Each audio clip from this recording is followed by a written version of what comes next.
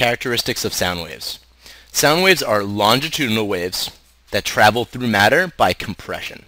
If you see in this diagram here, we have sound traveling through a column uh, filled with air.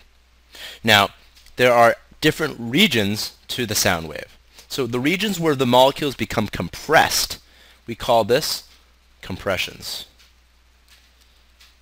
And then areas where the molecules are more spread out and they're not as dense are what we call rarefactions.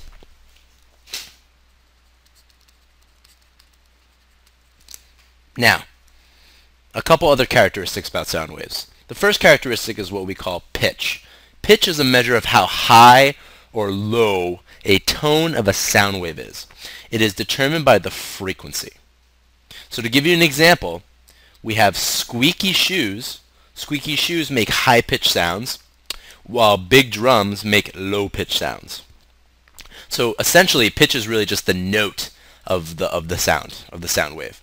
It's determined by frequency. So the higher the frequency, the higher the pitch. And of course, the lower the frequency, the lower the pitch. In addition, we have loudness. Loudness is the measure of the volume of a sound wave. It's how loud it is. It is determined by the amplitude.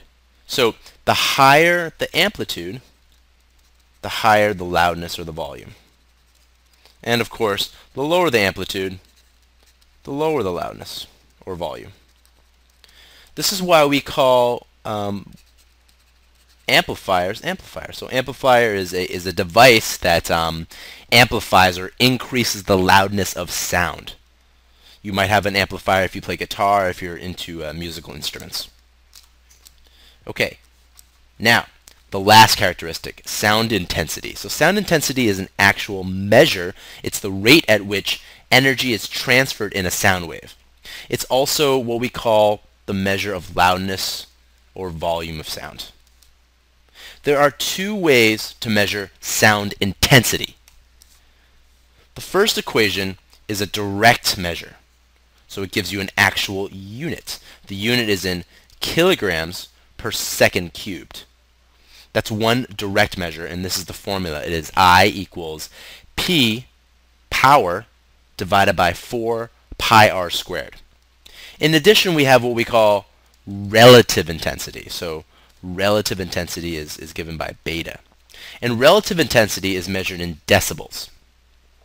So to give you an example, the decibel scale, this is a logarithmic scale. So for every 10 decibels, that's a factor of 10 times as loud, so 10 times as loud.